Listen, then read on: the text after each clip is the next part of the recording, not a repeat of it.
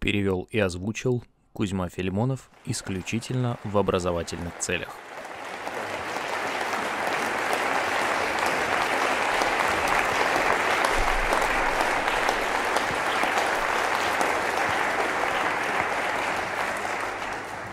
Большое спасибо и добрый вечер. Я догадываюсь, что многие из вас могли бы счесть умение импровизировать в стиле Моцарта в действительности настолько же редким и бесполезным, как умение импровизировать стихи в ямбическом пентаметре. Без сомнения, были времена, когда оно переживало свой расцвет, и демонстрация этого искусства могла развлекать и даже изумлять. Но область его практического применения кажется, так сказать, иллюзорной. Я надеюсь изменить ваше мнение сегодня вечером. И чтобы добиться этого, я могу пообещать, что этот вечер закончится живой импровизацией. Но что мне хотелось бы сделать, это смешать рискованность экстемпорального самовыражения в музыке с предоставлением вам подробного бэкграунда в документальных доказательствах, которые у нас имеются, о центральном месте импровизации в творческой персоне Моцарта. Некоторые из вас, возможно, знают, что Моцарт импровизировал свои каденции в фортепианных концертах, что он часто импровизировал украшения в своих пьесах, которые он самолично исполнял, и что ни один публичный концерт Моцарта не мог считаться полноценным без отдельно взятой сольной импровизации. В самом деле, существует знаменитый отрывок из одной из первых биографий Моцарта, написанной Францем Нимечеком, в которой он говорит, «Мы не знали, чем следует восхищаться больше, сочиненной музыкой или же красотой того, как она была исполнена, но когда Моцарт в конце наградил нас 20-минутной импровизацией, мы были поистине зачарованы». Конечно, мы не можем это услышать. Но мы можем кое-что узнать о природе Моцарта как импровизатора. Итак, без дальнейших промедлений я начну предъявлять некоторые доказательства, большая часть из которых будет представлена в форме репродукций моцартовских манускриптов, которые всегда довольно занимательны для изучения, поскольку он пишет преимущественно с изяществом и только иногда неряшливо. Давайте сперва перейдем к слайду под номером 2. Я бы хотел показать вам, что это очень странное музыкальное произведение. Собственно, я играл его на BBC, на моцартовской оргии в прошлом году. Рукопись, которую вы видите, очевидно, полна очень быстрых пассажей. Однако, эта пьеса написана не Моцартом. Это его записи, сделанные в возрасте 16 лет. На самом деле, это детально проработанные украшения пьесы, написанные кем-то другим, до сих пор не опознанным. И эта рукопись показывает, что Моцарт в качестве творческого упражнения выписывает своеобразные украшения, которые он стремится применить к своим собственным, а также чужим сочинениям экстемпорально. И что интересно, я сыграю для вас небольшой фрагмент, чтобы вы могли ее распробовать. И я думаю, вы согласитесь, что это совершенно точно не пьеса в моцартовском стиле.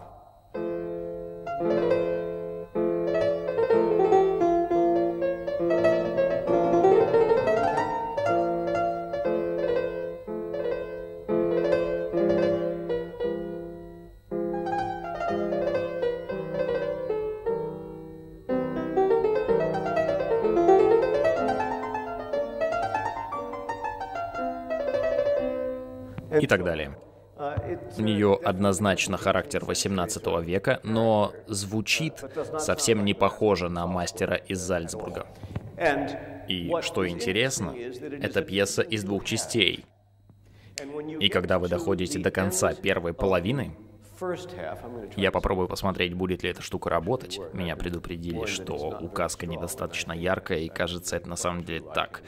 Э, я даже не вижу... Что ж, давайте попробуем что-нибудь другое. Если вы посчитаете строчки сверху вниз, они сгруппированы попарно, на четвертой строчке есть первый такт, и если вы посмотрите внимательно, вы увидите двойную черту со знаками репризы.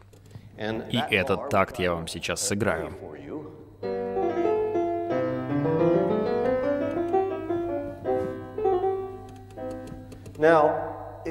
Довольно очевидно, что левая рука написана так, чтобы сделать переход на вторую часть. Но это не сработает, если вы будете соблюдать повторение, которое тут обозначено, поскольку получится вот что.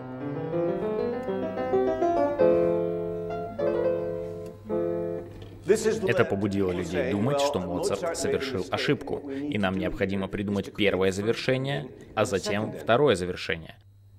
Первое завершение, которого тут нет, приведет нас в начало. Эти люди упускают суть. То, что Моцарт выписывает здесь, это, безусловно, не полная композиция, а только украшение повторений. И, следовательно, когда он играет первую часть за вторым разом, его украшения соединятся со вторым неукрашенным разделом, который тоже будет повторен уже с украшениями. Итак, требуется немного филологической интуиции, просто чтобы понять смысл некоторых из этих документов. В общем, как вы видите, на этой странице очень много 64-х, и это демонстрирует, что Моцарт практически превосходит сам себя в изобилии его воображения. Давайте сейчас перейдем к следующему изображению, пожалуйста. И здесь мы будем лицезреть работу из периода моцартовской зрелости. Это вторая часть сонаты для фортепиано до минор, написанной для Терезы фон Трапнер. И эта рукопись показывает нам, что один из наиболее глубоких подходов для рассмотрения бытования импровизации в музыке того периода заключается в этом ключевом различии между знатоками и любителями. Любителями в лучшем смысле этого слова. Это хорошо обученные музыканты под руководством отличных учителей, но без этой выдающейся искры креативности. И это различие было четко очерчено еще в XVIII веке, задолго до того, как на сцене появился Моцарт. Многие из вас вспомнят, что один из баховских сыновей, Карл Филипп Иммануил Бах, написал ряд сонат для знатоков и любителей.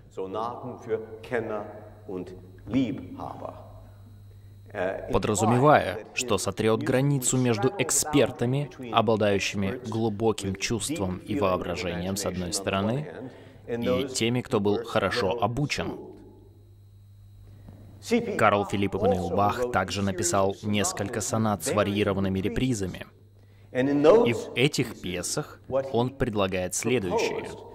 Обучать людей искусству орнаментации при повторениях посредством устранения реприз и выписывания их всех с подобающими украшениями.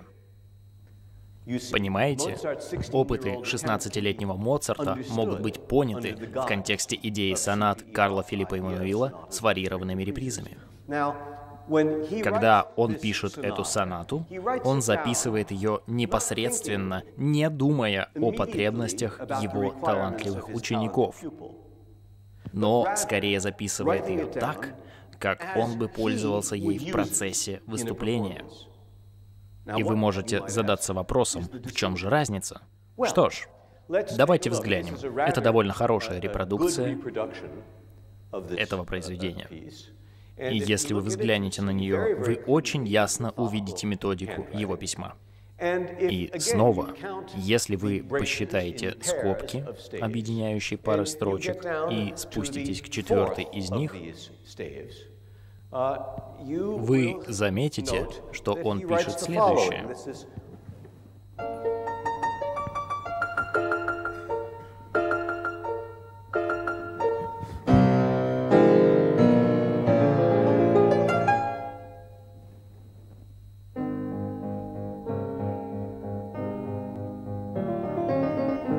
Кстати говоря, те из вас, кто интересовался, откуда Бетховен взял идею для второй части своей патетической сонаты, что ж теперь вы знаете. Бетховен делал это с завидной регулярностью. В сущности, это была его дань уважения Моцарту. Внутри этого разрыва мы видим типичную для Моцарта запись. Да капо от начала семь тактов. Да капо здесь по-итальянски, и он пишет латинскими буквами. Семь тактов по-немецки, и он использует немецкую запись. Sieben Takt. И что он подразумевает, что нужно вернуться в начало и сыграть главную партию этой части.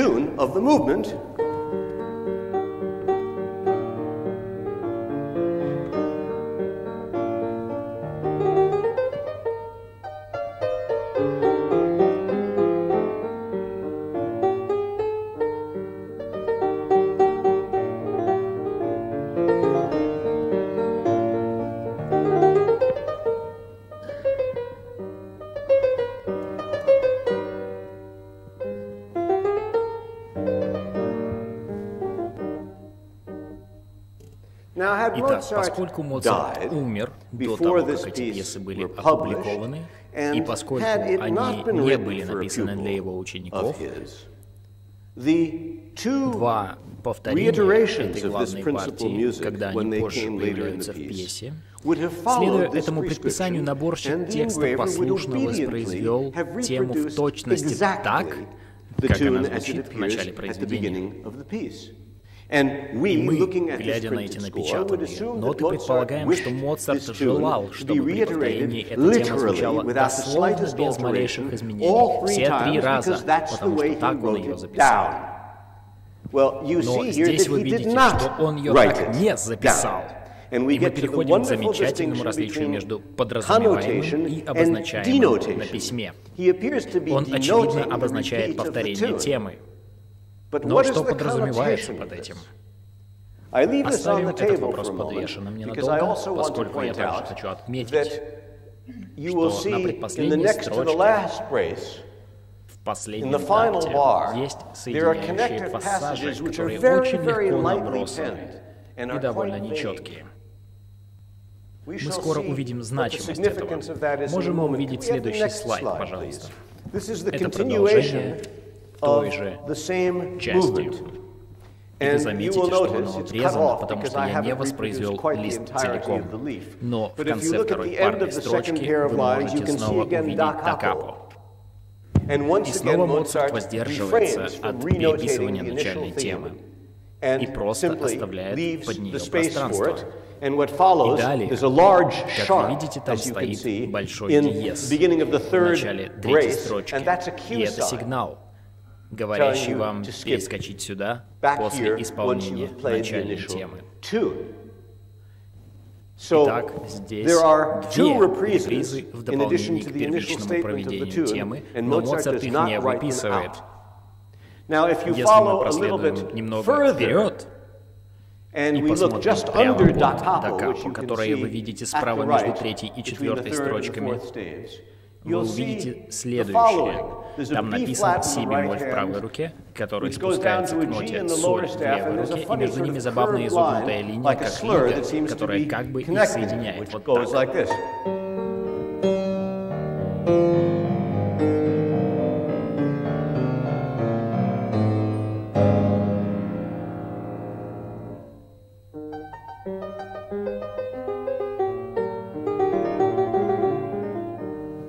Прошу вас запомнить этот отрывок. Итак, он преподавал эту сонату, к счастью для нас, молодой женщине, которой он в конечном итоге и посвятил сонату Терезе фон Тратнер. И Тереза фон Тратнер была любителем, не знатоком. И ей требовалось то, что мы в Америке называем шпаргалка — Ей нужно было, чтобы ей сказали, что делать в повторениях в этих пьесах. Или даже давайте так. Ей бы потребовалось знать, что делать, если бы это был случай, в котором эти репризы не должны были быть сыграны идентично первому проведению.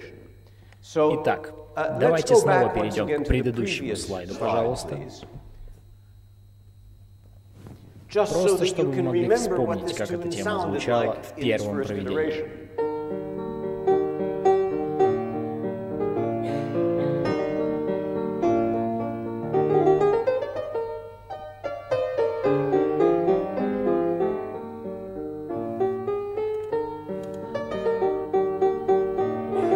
Вы уже заметили, что там звучат небольшие украшения. И небольшое количество украшений будет звучать креативно в контексте произрастания из исходного неукрашенного импульса. Но если вы затем воспроизведете мелодию с точностью, как она представлена здесь, два раза подряд, это будет означать, что воображение застыло, и из-за повторения звучит неубедительно. Потому что это уже не креативно. Сейчас давайте пропустим второй слайд и перейдем к третьему. И здесь мы с вами видим лист нотной бумаги, вложенный в манускрипт сонаты до минор. И в верхней части вы видите по-немецки при первом повторении темы. Если затем вы спуститесь на две строчки вниз, то там написано то есть он выписал украшения, исполняемые в каждом из повторений этой темы. И вы заметите, что она отлична от оригинала.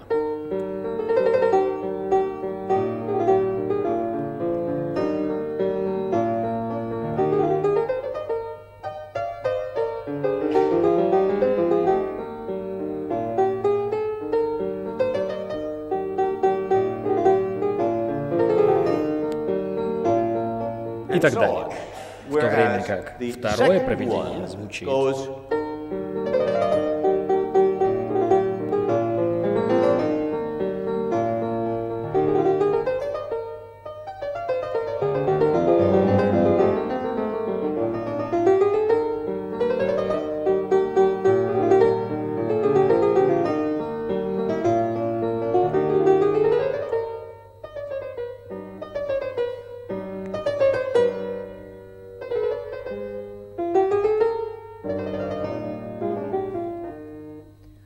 Как вы можете видеть, это по-настоящему вариативный подход к орнаментации. И вы понимаете, насколько драгоценным является этот документ. Он помогает нам осознать, что если Моцарт пишет до капа 7 тактов, он имеет в виду, что должна быть повторена сущность, но внешнее воплощение должно быть углублено украшением.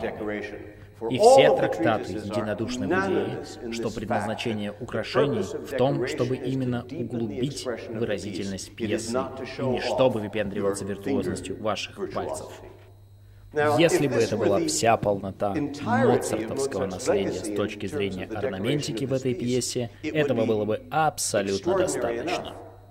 Но в действительности есть еще. Давайте перейдем к следующему слайду.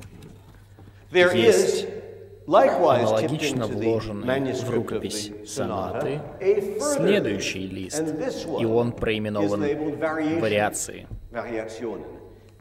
Это другой набор украшений, отличный от того, который мы только что видели. Он пересекается с ними в какой-то степени. Но одна из вещей, которая особенно увлекательна, если вы присмотритесь, вы увидите изобилие динамики.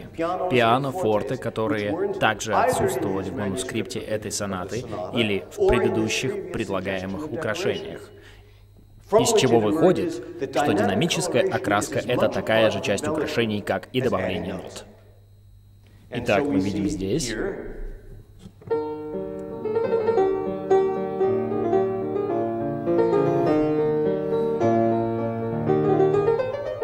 еще раз.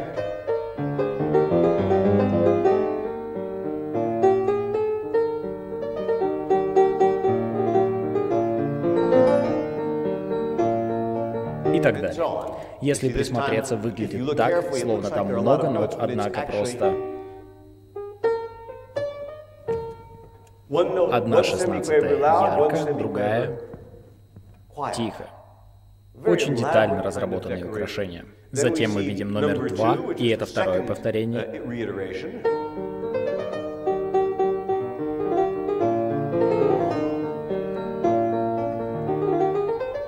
И так далее.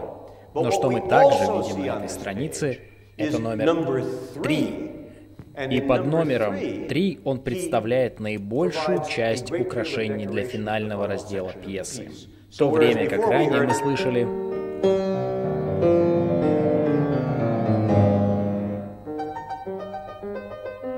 Теперь у нас внезапно появляется...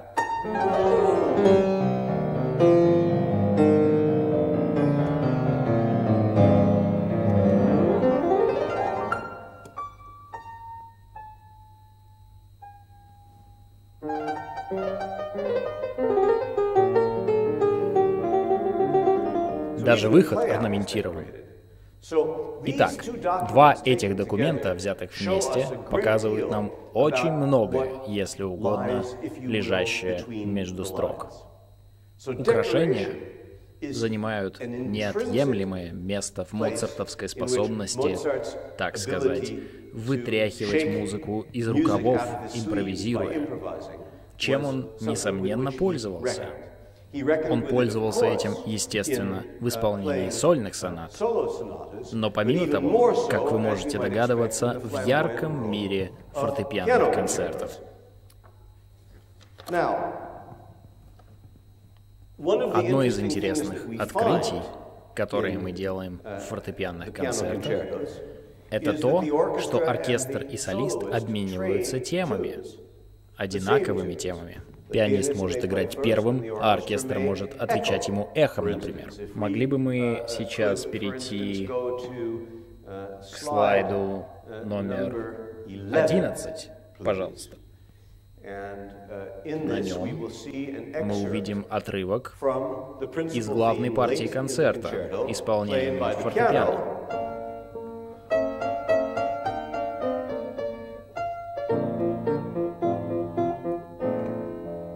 На что оркестр отвечает.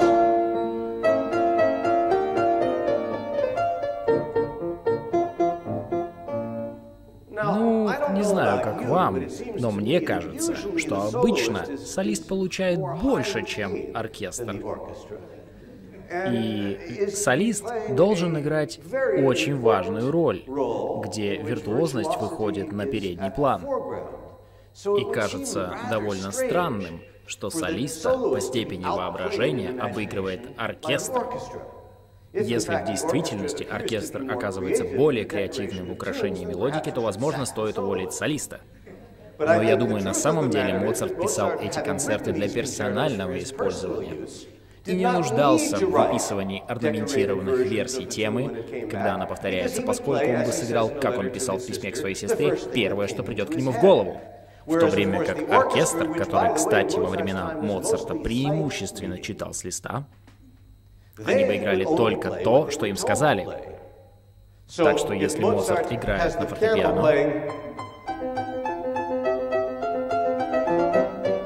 на что оркестр отвечает. Вам следует думать, что-то не так с этой картиной. Но на самом деле все правильно, если вы понимаете язык моцартовской нотации как личных набросков для себя самого. Это каркас. В то же время оркестр нуждается в подробных указаниях, что делать. Одно из доказательств, которые мы имеем того, что оркестры не репетировали, если кто-то из вас видел, как выглядят оркестровые партии в оркестровых нотах, то он знает, что там либо пронумерованы такты на протяжении пьесы, и дирижер может сказать «такт 225, пожалуйста». Или там бывают буквы, тогда говорят «начнем за 6 тактов до буквы «Б». Но фактически в партиях этого периода нет ни букв, ни цифр. Так что если пьеса останавливается, нет других вариантов, кроме как начать с самого начала. Поэтому интересно было бы послушать некоторые концерты в те дни. Они могли бы быть очень-очень авантюрными. Сейчас я бы хотел перейти к слайду, насколько я помню. Следующий будет номер 12, пожалуйста.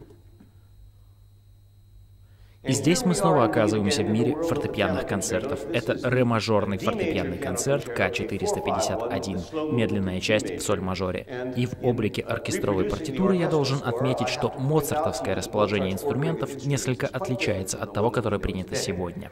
И для того, чтобы понять смысл того, на что вы смотрите, помните, что верхние три строчки, те, что с восьмыми, это первая, вторая скрипка и альт. Под ними соло-флейта, соло-гобой и соло-фагот. Затем идет пустая строчка, две строчки фортепиано, четвертая и третья с конца, и ниже идет оркестровый бас. Это весьма интересный порядок инструментов. Это не про импровизацию, но я просто хотел указать вам на это. Когда Моцарт пишет пьесу с трубами и барабанами, барабаны появляются прямо над фортепиано, а виолончельный бас появляется прямо под ним. И на каждой строчке на протяжении всей партитуры, где он не прописал виртуозное соло, обязательную часть для солирующего фортепиано, он пишет играть гармонию с басом, указывая, что солист играет постоянное сопровождение оркестру. Держите в уме ударные, фортепиано и бас. Все вместе. Можете вы подумать о другом жанре, гораздо более близком к нам, который использует ударные фортепиано и бас вместе? В сущности, единственный инструмент, которого не хватает, это гитара. Это то, что в джазе называют ритм-секция. И это так показательно, что Моцарт группирует эти инструменты вместе, потому что фортепиано играет как Каунт Бейси и Дюк Эллингтон, играющие небольшие рифы, пока все трубачи, что есть мочи, выдувают медь. И вы знаете, слушая этот риф от Бейси, что рано или поздно он начнет солировать. Моцарт создает на знакомом ему языке кварталов Вены 1980-х нечто, у чего есть своего рода неочевидная параллель с языком кварталов Гарлема 1930-х и 40-х. Я не думаю, что это натяжка воображения, и мы видим иконографически, что так оно и есть. И в этом отрывке который мне бы хотелось назвать фортепианным речитативом, вы увидите, что у фортепиано довольно схематичная мелодия, аккомпанированная этими пульсирующими восьмими струнами инструментов.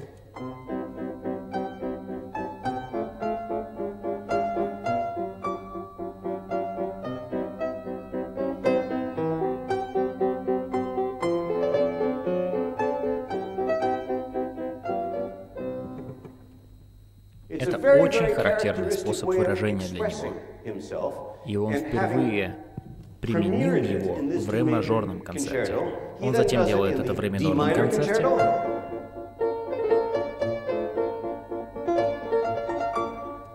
Он снова делает это в коронационном концерте. Он повторяет это в финале си-мажорного концерта. Итак, вы видите, это оперно-разговорный тип выражения. И что меня поражает, не ранее, чем Моцарт послал копию нот в Зальцбург, чтобы его сестра могла их выучить, и мы не раз помянем добрым словом его сестру до конца этого часа, поскольку она оказалась ключевым кусочком доказательства моцартовской импровизационной активности. Как только она увидела ноты, она написала брату и спросила, «Мне кажется, или здесь чего-то не хватает?» Она никогда не видела такой пьесы, но она не могла поверить, что Моцарт мог написать нечто, как мы бы сказали, настолько набросочное. Моцарт, мы переходим к следующему слайду, пишет в ответ и говорит, «Скажи моей сестре, пишет он своему отцу, что она совершенно права и чего-то не хватает в моем ре-мажорном концерте. Я исправлю это как можно скорее и вышлю вместе с каденциями. Заметьте, он пришлет ей каденции. Почему?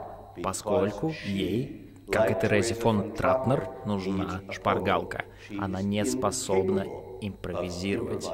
В другом письме Моцарт говорит, «Мне очень жаль, что я прислал каденции столь поздно, но видишь ли, когда я играю эту музыку, я играю первое, что приходит мне в голову». Следовательно, те, кто говорят, что Моцарт написал каденции к его фортепианным концертам для собственного использования, однозначно неправы. Если Моцарт может импровизировать фантазии и вариации и тому подобное на потеху своей публике, безусловно, полутораминутная каденция точно была в рамках его способностей. И очень показательно, что единственное исключение Каденции к его концертам всегда выписаны на отдельных листах бумаги. Одно исключение — это К4 ля-мажорный концерт, и присутствие каденции внутри оригинала рукописи, как мне кажется, указывает абсолютно точно на то, что эта пьеса была написана для исполнения кем-то другим. И до истечения этого часа вы узнаете, кто же это был. Итак, это не его рукопись, это копия того, что Моцарт прислал. Вы слышали неприукрашенную версию мгновением ранее. Вот другая версия, которую он прислал ей.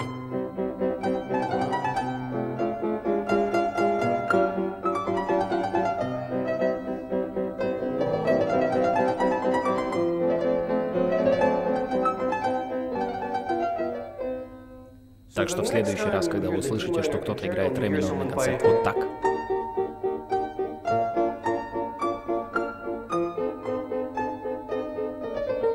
Я думаю, вы должны быть немного раздражены, что вам продали обрезанную версию. Хорошо.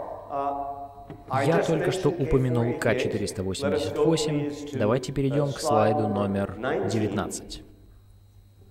И здесь мы видим этот довольно необыкновенный документ. Это воспроизведено из критического очерка «Новое издание Моцарта», издательство Беренрайдер, и вы видите в правом нижнем углу отметку Кёхель 488, и слева от нее вы видите печать Королевской библиотеки Берлине, которая позже стала Прусской государственной библиотекой, что почти наверняка является самым сложно произносимым названием библиотеки где-либо в мире. Государственная Берлинская библиотека прусского культурного наследия. И документ показывает, а это орнаментированная версия второй части К-488, хранящаяся в Берлинской Королевской библиотеке. А если она хранится в Берлинской Королевской библиотеке, мы можем быть практически уверены, что оно происходит из наследия моцартовского имения. И предположительно, Моцарт обладал этими украшениями своего фортепианного концерта, написанными кем-то другим. И в тот момент, когда это было напечатано, в новых изданиях Моцарта, в критической статье, личность автора была неизвестна. И они воспроизвели всю рукопись, в которой, как вы видите, три строчки объединены скобкой. И в каждом случае вторая и третья строчки — это моцартовская фортепианная партия, как он написал ее в своем автографе, абсолютно без украшений. Первая из трех строчек содержит довольно выдающиеся рапсодические украшения, достаточно зависимые от хроматических ладов, но пропорции нот на верхней строчке в сравнении с тем, что вы видите под ней, достигают практически критических значений. Показательно, что манускрипт начинается не с начала части. Следовательно, предположение, что это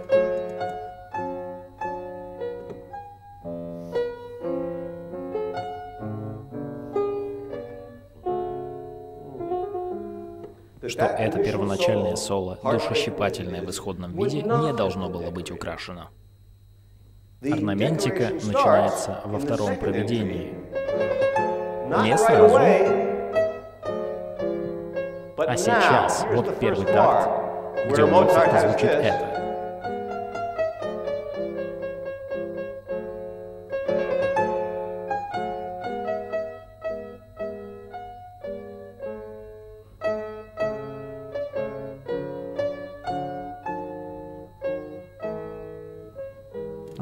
Все узнаем это.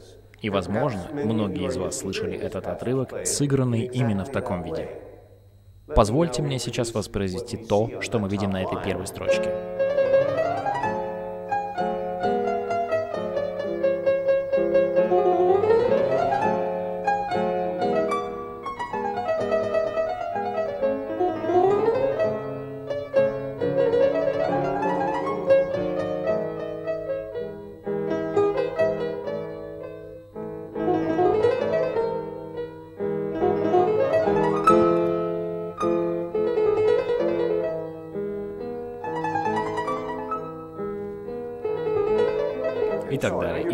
Далее. И вы скажете, это же просто ужасно.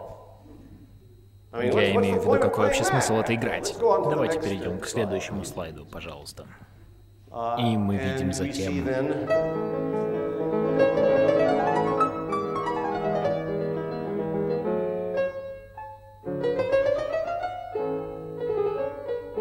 И вы скажете, эй, а это очень даже неплохо.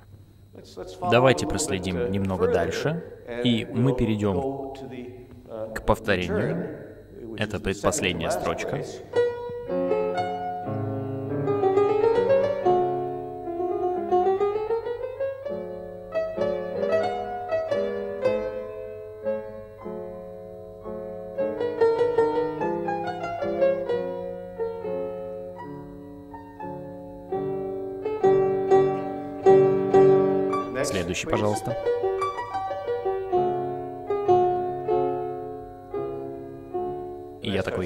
Подождите секундочку. Это же правда довольно хорошо. Что ж, я не стану более затягивать. Около 15 лет назад личность человека, написавшего это, была раскрыта. Это рукопись Барбары Плоер. Барбара Плоер была ученицей Моцарта по композиции и фортепиано на протяжении нескольких лет в Вене. Он сочинил для нее и посвятил ей ми-бемоль мажорный концерт номер 14 К-449 и соль мажорный концерт К-453.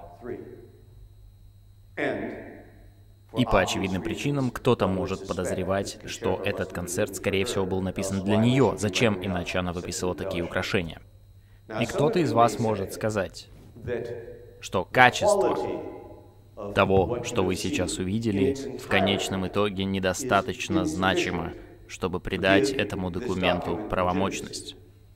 При прочих равных я бы сказал, что если вам так кажется, то я думаю, что вы неверно трактуете эти свидетельства.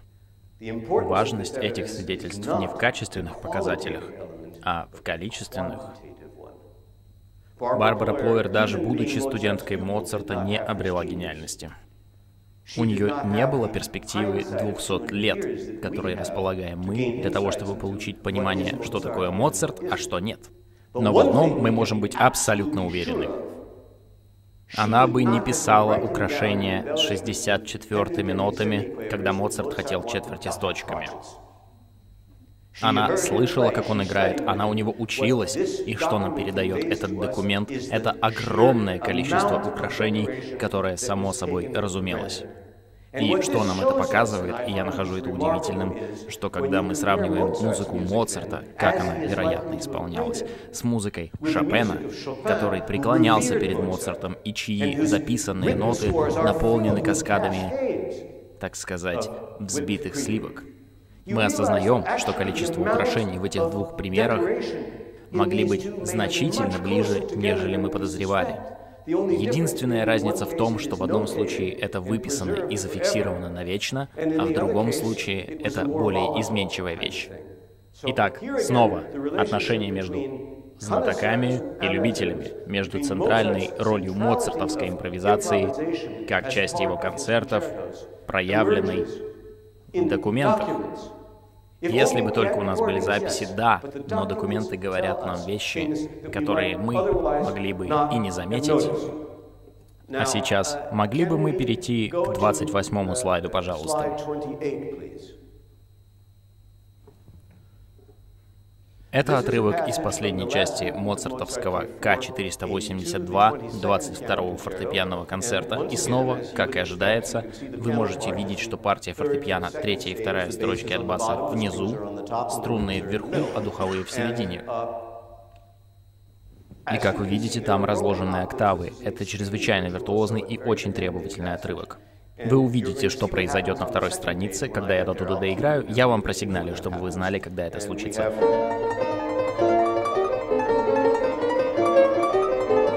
Следующий слайд.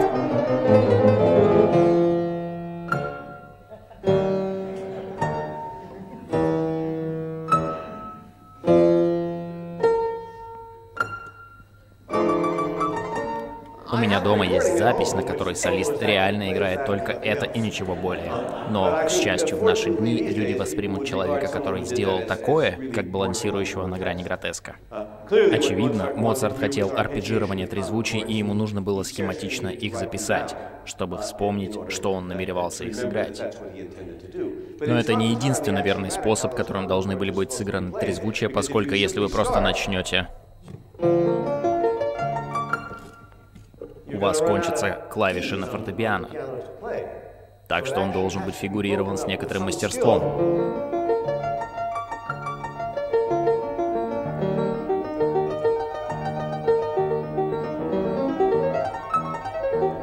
и так далее. Требовалась некоторая подготовка, и Моцарт, очевидно, себе доверял. И мы видим во многих из этих концертов такие вот белые пятна. Он прибегает к сокращениям. Он запишет.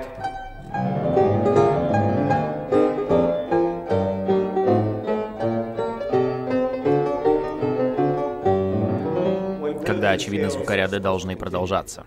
Иногда он решает не выписывать разложенные октавы. Он пишет... Когда очевидно, а я должен сказать очевидно, потому что никто этого не делает. Я думаю явно, что он этого хочет, потому что он начинает играть, прежде чем превращает в сокращение. Или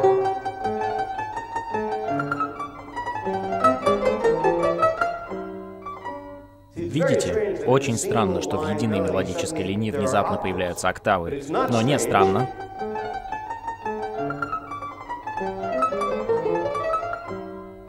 Если вы раскладываете октавы. Итак, в изучении этих концертов поистине велика роль филологического анализа. С его помощью перед вами может открыться много интересного. Можем мы перейти к 45-му слайду, пожалуйста. Здесь я собираюсь погрузиться в мир каденций. Поскольку это та область, в которой большинство людей принимает тот факт, что Моцарт сочинял их экспромтом. Но, тем не менее, он выписывал каденции для своих учеников и для своих современников. И, конечно, здесь перед нами соль-мажорный концерт, второй концерт для Барбары Плойер. И что я сделал здесь? Это довольно сложно прочитать. Что я сделал, так я прошелся по всей каденции, идентифицировал каждый такт в пьесе, соответствующий отрывку в части, откуда Моцарт украл эту идею. И что вы можете видеть без моего исполнения этой каденции? Что первые два такта происходят из такта номер один, а третий и последующие такты взяты из такта 311. А на следующей странице следующая линия — это такт номер 60. И затем такт 162, затем 254, и потом 153 и 184. Таким образом, это фантастический головоломный пазл, в котором он деконструирует пьесу и встраивает короткие идеи внутрь основной драматургической структуры, которая довольно стабильна во всех его концертных каденциях. И это создает совершенно особенный эффект. Поток сознания, в котором он порхает повсюду, создает у нас впечатление, что пьеса была выдумана сейчас, прямо на ходу. Хватая кусочки с общего стола, он берет пару клеток оттуда, немного говяжьей грудинки отсюда, и немного курятинки, и, может, куриного пирога. Он выбирает и воссоздает сам себя. И ощущение разрывов, непрерывности в материале вызывает достоверность импровизации. Мы должны предположить, что такое заимствование оттуда и отсюда было тем, на что Моцарт был более чем способен. Но еще раз, мы должны быть настолько бесконечно благодарны менее талантливым, чем он, без которых мы бы об этом даже не подозревали. Остается шесть концертов Моцарта для фортепиано, для которых у нас нет каденций. И какие-то музыканты будут исполнять, допустим, в ре минорном концерте бетховенские, довольно выдающиеся сочинения. Но Бетховен уже из другого поколения, и каденции Бетховена не придерживаются базового принципа, который занимает центральное место в моцартовских каденциях и не нарушается ни разу. Он следующий. Ни одна каденция Моцарта не переходит в другую тональность. Никогда. И если вы скажете, а как же вот это?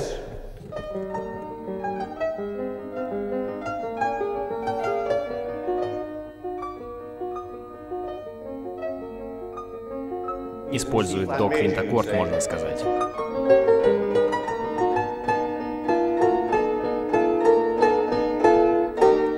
Нет, нет, нет, нет, нет. Если у вас, предположим, прерванный оборот, просто взят из вашего мира. Это окраска внутри основной тональности. Если бы вы показали мне до квинтаккорд соль мажор, это было бы другое дело. А Бетховен делает это. Бетховен разбивает этот барьер. И когда этот барьер разбит, каденция может свободно модулировать в любую тональность любой степени дальности. Изначальная идея каденции как таковой, которая предназначалась для голоса и должна была быть исполнена на одном дыхании. Каждый трактат критикует певцов, которые брали более чем одно дыхание, чтобы спеть каденцию. Да, конечно, пианист не имел подобных ограничений и мог играть как угодно. Но если вы модулируете ожидания на неустойчивости,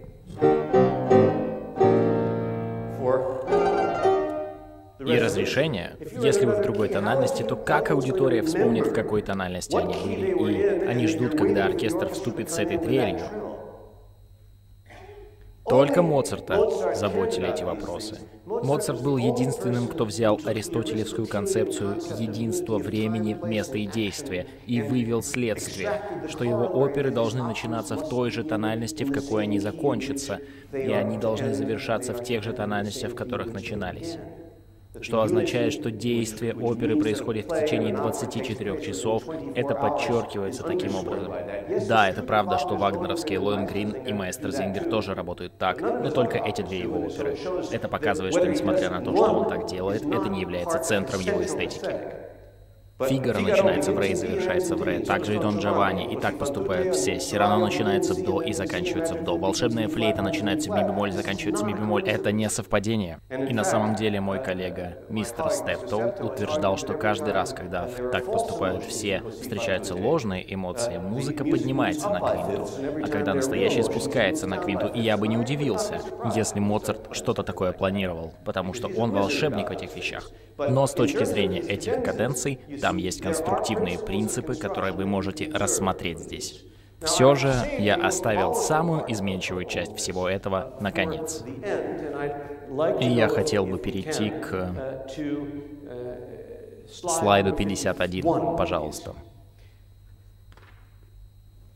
Сестра Моцарта Нанерель, как я вам и сказал, она была очень хорошо обучена как пианист, но она не могла импровизировать. Следовательно, Моцарт, посылая ей концерты, должен был снабдить их каденциями, и, как мы видели, даже с предложенными украшениями. Но в XVIII веке если вы собирались последовательно играть две пьесы, которые не были тесно взаимосвязаны одна с другой, то считалось эстетически неприемлемо переходить из одной далекой тональности в другую. Например, если я решил, что буду исполнять, допустим, сонату ре мажор к-311. Считалось бы неправильным начать играть, делать так, вы бы оскорбили чувства профессиональных музыкантов. Что бы сделал композитор вроде Моцарта, он бы симпровизировал модулирующую прелюдию, которая привела бы нас из одной тональности в следующую. Это как перемещаться между отделами торгового центра на эскалаторе. И это довольно интересная задача, в решении которой Нанерель попросила помощи. Она хотела, чтобы Моцарт написал псевдоимпровизации, чтобы она могла их запомнить и выдать их своей аудитории как якобы импровизированные пьесы. И снова, благодаря этому факту, мы обладаем чем-то подобным. Это первая страница трехстраничной модулирующей прелюдии, которая переходит из фа мажора в ми минор на этой странице и идет из ми минора в до мажор на оставшихся двух. И, следовательно, она может быть использована целиком, чтобы смодулировать из фа мажора в до, или прелюдия может быть разбита на части, чтобы можно было исполнять пьесы в промежуточных тональностях. Так что это был очень практичный вариант предоставить ей множество решений одной проблемы. Моцарт надписывает сверху наглядную структуру блоков тональности. Трезвучие в до мажоре, тоника, доминанта, и субдоминанта. Далее то же самое в миноре. Это, если угодно, расположение в пространстве. Что он предписывает делать здесь, в этой прелюдии, если вы посмотрите на нее очень внимательно, вы немедленно заметите, что в ней нет тактов. А как много пьес без тактовых черт Моцарта вы знаете? Это в самом деле что-то выдающееся. Но если вы спросите себя, мы знаем, что есть другие композиторы, которые писали прелюдии без тактовых черт. Луи Куперен писал их, но он не писал так детализированно в нормальном метроритме. Он просто писал целые ноты и давал исполнителю возможность решать, каковы будут скорость и пропорции. Но был кое-кто, кто это делал, и это был Карл Филипп Иммануил Бах, который в последней главе своего «Опыта истинного искусства фортепианной игры» обсуждает свободное фантазирование, которое является импровизацией. Он пишет, наилучший способ импровизировать фантазию — это взять басовую линию, у которой есть ясное направление движения, затем надстроить цифровки, которые установят аккорды с ясным тяготением, и затем вы можете навесить шторы вашего воображения на эту прочную гордину. Это может быть чисто виртуозная пассажная работа, либо она может быть тематической. И Моцарт иллюстрирует это в этой прелюдии, которую я вам исполню. И в сущности, он строит ее на этом.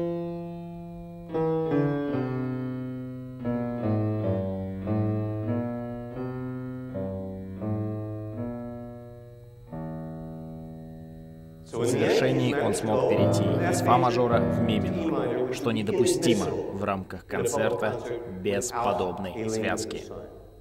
И вот как он это делает.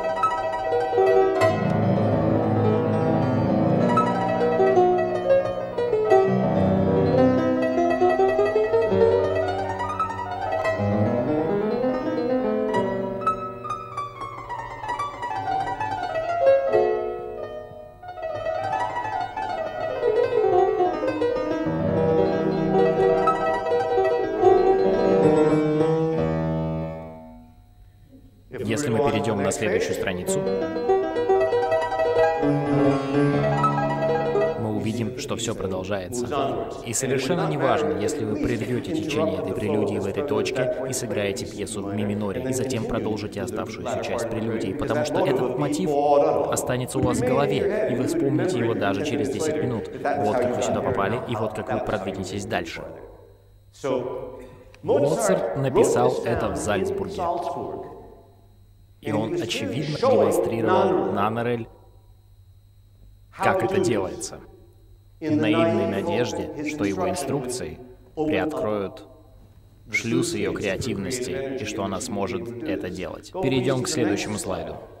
Вы видите продолжение этой прелюдии примерно на 6 реплик ниже, но над ней вы видите цифрованные басы. Это пишет Нанерель. И если мы перейдем к следующему слайду, вы видите на оборотной стороне написаны еще басы Нанерель. А перейдя на следующий слайд, мы видим дословную расшифровку цифровок, которые выписывает Нанерель. И вы видите, что она пишет.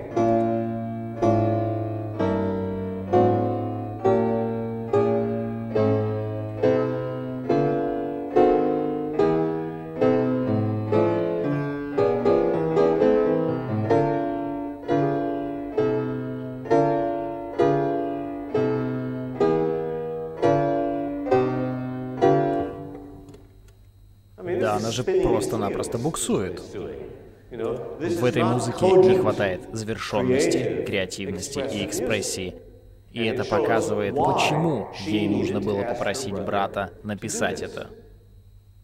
И слава Богу, она попросила его. И слава Богу, он написал, потому что мы бы никогда не могли вообразить импровизацию Моцарта, выглядящей и звучащей как то, что мы только что услышали. Итак, вот в двух словах выжимка из множества документов, которыми мы располагаем. И все они, как я и говорил, указывают на центральное место импровизации в творческой персоне Моцарта. Мы видели это в описании Нимичека. И в автобиографии Дитерсдорфа он говорит, конечно, в Вене импровизировали все, но единственный человек, чьи импровизации стоили внимания, как настоящая музыка, был Моцарт. И Моцарт балансирует на грани ясного ощущения структуры с необычайной подвижностью мелодики и пластичностью высказывания. Факт в том, что в его записанных композициях он считает такты. Есть номер в конце первой половины сонаты над двойной чертой, который обозначает количество тактов в первом разделе произведения, и есть номер такта в конце части. Зачем Моцарт записывает эти номера тактов, если не из-за пропорциональной иерархии, которая занимает центральное место в его образе мышления? Я закончу формальную часть этой презентации, рассказав вам историю, которую вы найдете показательной в этом свете. Великий исследователь Моцарта Вольфганг Плат, ведущий эксперт по моцартовским манускриптам, он может посмотреть на бикар или на диез и датировать его с точностью до полугода, основываясь на каллиграфии того, как они написаны. Видите ли, в тот или иной год он перестал писать бикар с двумя прямыми углами, он начал писать ее с наклонными линиями, и он такой, о господи, это потрясающе. Он в Аугсбурге и Алан Тайсон чей офис находился в Оксфорде, он провел полную инвентаризацию нотной бумаги, на которой Моцарт писал свои произведения, с одной простой предпосылкой. Если Моцарт написал 8 произведений на этом определенном типе бумаги, и 5 из них датированы, логично предположить, что остальные три принадлежат к тому же периоду. И эта довольно обоснованная идея исправила датировки некоторых моцартовских произведений более чем на 10 лет, а это треть его творческой жизни. И поразительная вещь, что в Оксфорде Алан Тайсон работал независимо от Вольфганга Плата в Аугсбурге, и они достигли 95% единодушия в своих датировках. Это фантастический мир экспертов. В общем, доктор Плат обнаруживает себя смотрящим на зарисовки Моцарта, которые исписаны довольно большим количеством музыки. Но там также есть несколько добавленных чисел. А Моцарт был очарован числами. Мы знаем, что он с помощью угля расписывал числами стены и пол, чем доставлял неудобства своим родителям. Конечно, он ни дня не ходил в школу, однако есть черновик, на котором Моцарт развлекается с теорией чисел. Представляете? Человек, который никогда не посещал начальной школы, развлекается числами, у которых по два и по три факториала. Вы думаете, может, у него такое хобби, или он делает это, чтобы лучше писать музыку? Что ж, доктор Плат разглядывал этот листок с зарисовками, и в определенный момент он видит три колонки чисел, которые складываются. Конечно, он заинтересовался, что же Моцарт калькулировал здесь. И быстро он расстраивается, он думает, как же я могу знать, когда это было 200 лет назад? Он мог записывать доходы от своих занятий. Или, может, подбивал счета за одежду. Или за еду. Я хочу сказать, есть множество вещей, которые он мог делать, что было бы невозможно угадать спустя 200 лет. И он собирался сдаться, когда он внезапно подумал, есть ли что-нибудь из того, что он мог рассчитывать здесь, что я мог бы знать. Количество тактов. Да, он мог подсчитывать количество тактов. Так, погодите, там три колонки и 811 в колонке. Не может быть соната, не может быть симфония или квартет даже из трех или четырех частей. Дивертисмент был бы из пяти или шести, не так много. Опера. Это могла быть опера, верно? Три колонки, три действия. Погодите, давайте посмотрим на музыку на этом листе зарисовок. Узнаю эту мелодию. Это пьеса, которую написал в 1782 Ах да, в этом году Моцарт написал «Похищение из Сираля», и там три действия. Давайте откроем партитуру. Первое число увертюра, второе число ария Бальмонта. Поразительно, не правда ли? 200 лет спустя у него получилось. Это в сущности поразительно. Плат был гениальным исследователем.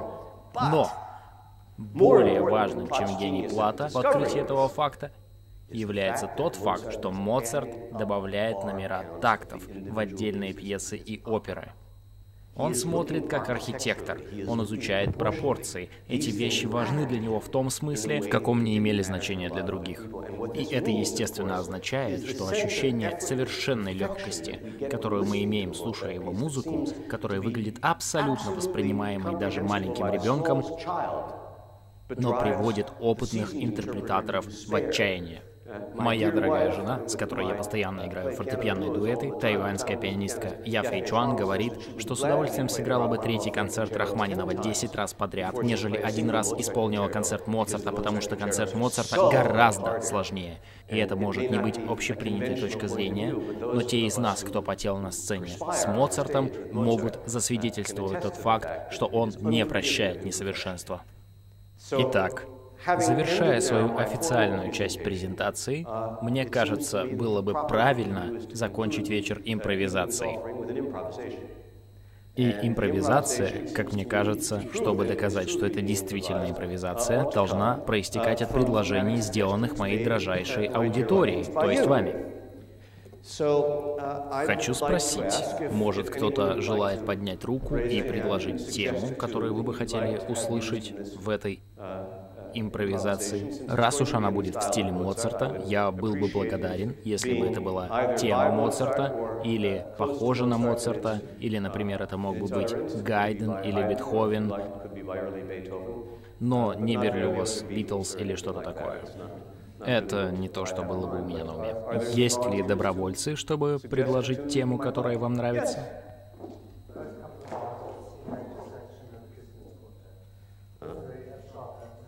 Ага, вы хотите первые такты К-465. Что ж, я с удовольствием. Конечно, основывать всю пьесу на ней так бы, наверное, сам Моцарт не решился сделать. Эм, хорошо, давайте вбросим это в микс. Кто еще?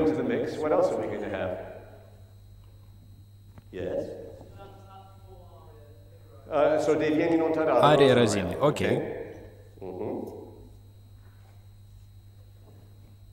Может, еще одну? Yes?